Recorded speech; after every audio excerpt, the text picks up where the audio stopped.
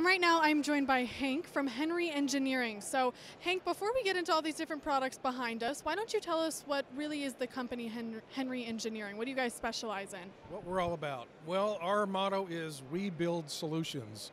Uh, for about the last 36 years now, uh, we've been building uh, products that solve problems for uh, the radio engineering industry.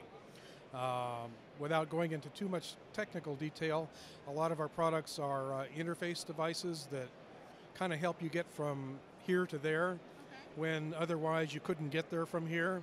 You know, they make things compatible that didn't used to be compatible, and uh, the products make it easy to to integrate the bigger pieces in the studio so that everything talks to each other the way it should, and all the interoperability actually works. Uh, sometimes you have uh, gear that two pieces of gear that aren't compatible with each other, and you put one of our devices in between them, and now they can talk to each other.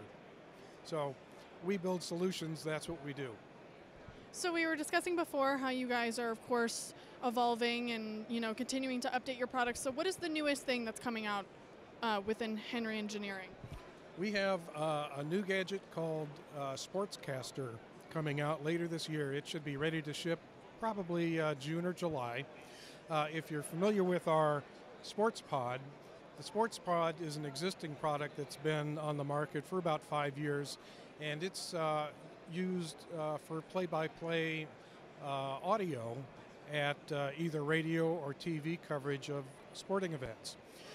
When you have a, a, a TV broadcast of like a football game, you have a lot of players. You have your announcers calling the game.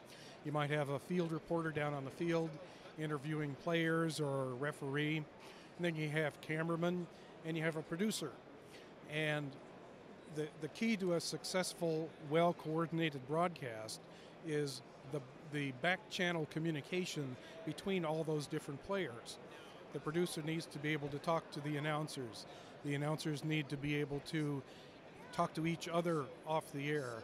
They need to talk to the field reporter. The producer needs to be able to call shots to the cameraman.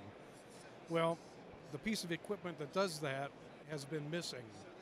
So, this new product, the Sportscaster, is the missing link that fills in all those holes and provides all that communication between all the different players in the broadcast. So, what the Sportscaster will do is it'll let you take maybe three sports pods, give each one to an announcer. So you might have a main announcer, a color man, and maybe a statistician uh, or a spotter. And then you got your guy down on the field with his field mic, and you have your cameraman, and you have your producer. So what the sportscaster does is let you take the talent call calling the game mix those guys together, add in the field reporter, perhaps add in uh, the PA announcer, uh, add in a crowd mic, put all that together, and that becomes your on the air pro- program mix. But in addition to that, you've got four back channel intercom paths that are all separate, but they're all controlled from one place. So the producer can talk off the air to the talent.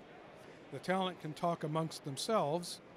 The announcers can talk to the spotter or the statistician.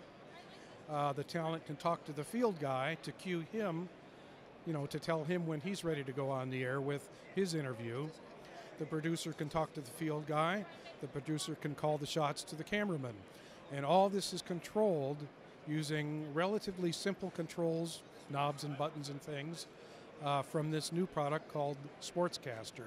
So you guys really, you know, complete this puzzle. Yeah. Um, and so really, you know, you touched on the idea of using it for the sports game. So here at NAB, who are you really hearing from a lot? What's kind of your ideal audience? For the Sportscaster, uh, it's designed for what, what I would call semi-pro video, which would be um, high schools, middle schools, colleges, universities anybody who's doing semi pro video broadcasts of sporting events. So there's a lot of that. A lot of that going on because with the web, now you have an outlet to broadcast this video coverage. You don't need a TV station, you can use the web.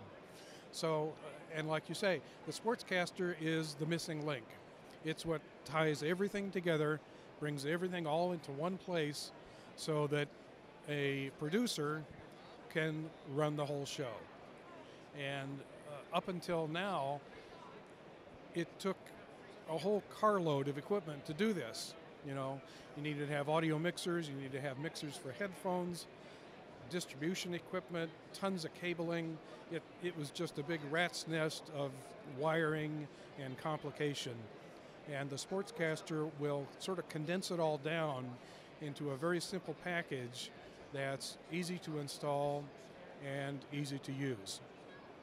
Well, thank you, Hank, so much for taking time to talk with us today, and we hope the rest of NAB goes really well for you.